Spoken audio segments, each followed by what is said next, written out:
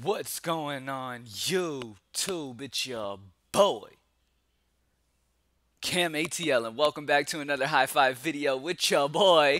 Thank you guys for joining me as always, man. Drop a like down below because I already know you're gonna love it. Subscribe to the channel if you haven't already. Uh, comment anything in the comment section. Enter your name into the $50 giveaway that I do every single week on this channel, man. It has been an amazing few weeks, man. I believe we've lost like I know for certain we've lost only once in about nine days. Before that, we had only lost like once in another five or six. So I'd say twice in a few weeks. Um, it's been fantastic. Uh, NBA season so far has been absolutely ridiculous. And I love it when we get stretches like this, man, because you know, I'm able to see people actually start like withdrawing big chunks and actually using it in the real world and paying actual bills and stuff like that and it actually benefiting them in the real world when we're on hot streaks like this. So I love things like that. That's what we do it for. We do it because at the end of the day, all right, DFS can does not have to just be something you do for fun and you lose majority of the time.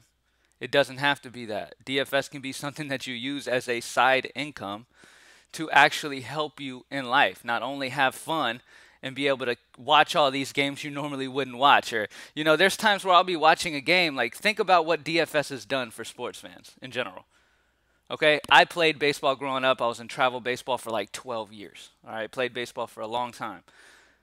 Love baseball. But would I watch a game on TV? Hell no. That's just me being honest. I would not watch a game on TV. Now, when baseball's on, I don't miss a game.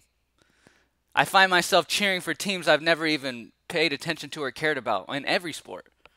There's certain teams that I never even watched. Now I watch them, cheering for my guys the whole time. It's really heightened up sports in general, and it just it's what we have as grown men or grown women as our fun. You know, when you're a kid, you have all these things that you look forward to, like going to the you know I don't know the park. I don't I don't know the playground or Walt Disney World or something like that. Those fun places, you know. Like when I was a kid, and I'd go to like Nike or something and get some new pair of shoes. I would like when I was little.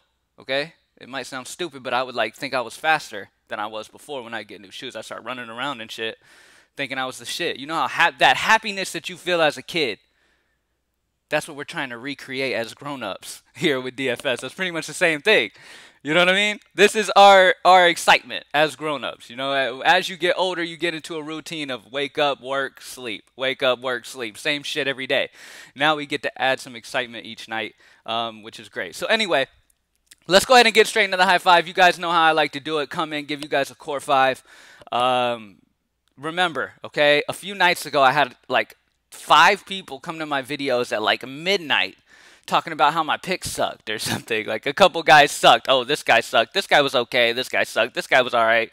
This guy was good. This guy sucked. This guy sucked. Like, listen, you don't have to waste your time and do all of that. It's not that big of a deal.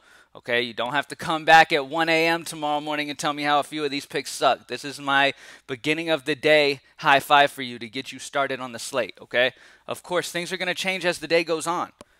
As injury news and stuff comes out, things are going to change. Okay? So pay attention to all of that news and let this be the starting point for you. All right?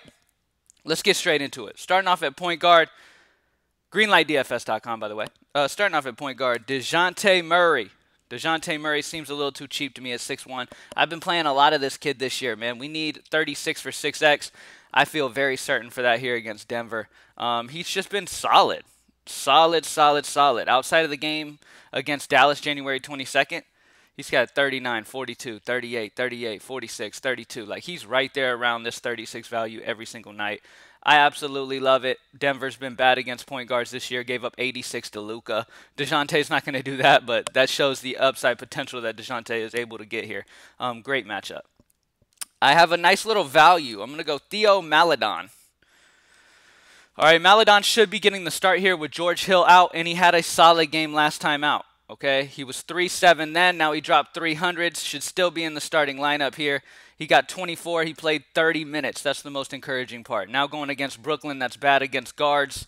I love Theo here, um, if, especially if he's going to get 30 minutes at 3-4. He's one of the best values on the entire slate as of right now. We could get some major value and guys really pop in, but as of right now, some really good value is Theo Maledon in this matchup against Brooklyn. All right. Next up at center, another very good value that I feel like if this dude's going to get 30 minutes, he's just consistently going to hit value at this price. Okay, so take advantage of him. Play him as he is still way too cheap. He was 3 4 last game. Now he's 4K. Um, take advantage as he's still a little bit too cheap. You know what I mean? Like at 30 minutes, this guy's going to hit value easily at 4K. So I love Cody Zeller. He's definitely a guy that I will be taking advantage of today. The matchup's not ideal against the Pacers, but I love him. He's only 4K. It's a great, great spot. A team that has been dreadful versus point guards and really defensively in general and giving up a ton of fantasy points is Sacramento. Kyle Lowry's in a fantastic spot. Him and VanVleet, these guys are fantastic. If Lowry ends up out, VanVleet's locked. Either way, love Lowry and VanVleet here in this matchup. Lowry seems too cheap at 7-1. He's had some up and down moments this season, getting 17 and 33 minutes against the Pacers a few games ago, but at the end of the day, I'm expecting a 45 or more here. I love Kyle Lowry here in this matchup at 7-1. Seems way too cheap. Last but not least, Clint Capela. Love Clint Capela here. Pay attention to his status because obviously with him being questionable, if he doesn't play, we're not going to want to play him, but Clint Capela, I love against Washington. Washington's defense is horrible. All right, horrible versus everything. Okay, play guys against them. I love this game, Atlanta, Washington. I would be looking to get as much exposure as I can to this game. Plain and simple. All right. Clint Capela is going to absolutely eat on the boards. They've struggled versus centers, and Capela has been ridiculous. So lock him in. And that's it, man. Quick and simple to the point. DeJounte Murray, Maledon, Cody Zeller, Kyle Lowry, and Clint Capela is the high five. Good luck, y'all. I'm going to send you on your way. Pay attention to injury news. Update as needed. Greenlightdfs.com. Join the squad. If you're making some GPP lines, make sure you use the Greenlight Optimizer. Appreciate you guys stopping by. And I'm out. Peace. Good luck.